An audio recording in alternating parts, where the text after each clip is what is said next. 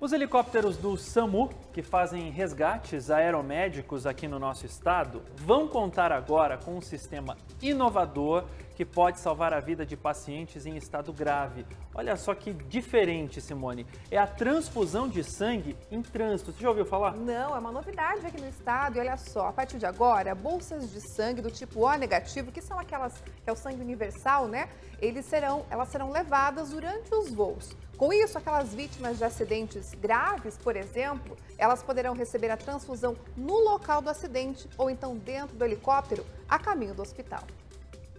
A parceria entre o SAMU, o HU de Maringá e o Hemocentro faz muita diferença para salvar a vida de uma pessoa.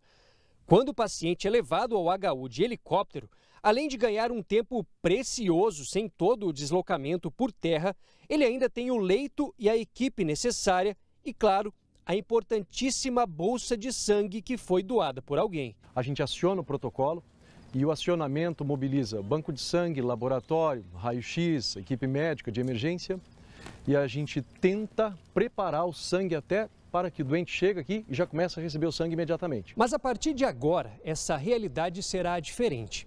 É que todas as vezes que este helicóptero utilizado pelo SAMU de Maringá decolar, além dos instrumentos e dos profissionais, ele também levará uma dose extra de esperança, em forma de bolsas de sangue. Essa será a primeira vez que o helicóptero de serviços de operações aéreas do SAMU César Paraná vai fazer esse tipo de atendimento. Ele só foi realizado antes, dessa forma, uma única vez, em Santa Catarina.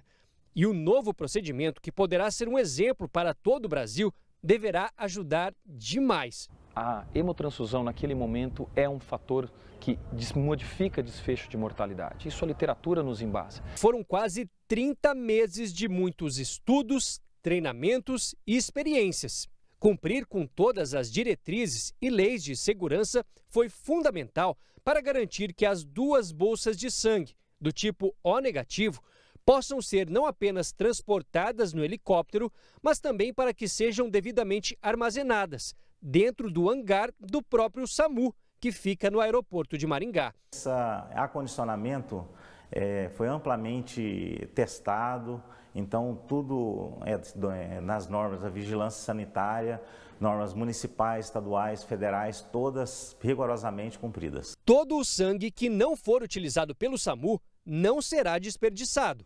Nos cinco dias nós não usamos, devolvemos ao Hemocentro em, em, plenas condições de ser usado em outro paciente com tranquilidade. Fizemos a troca por outras duas bolsas e seguimos. Por isso é tão fundamental doar sangue. Tem mais de 18 anos, boa condição de saúde? Procure um hemocentro perto da sua casa. Pelo menos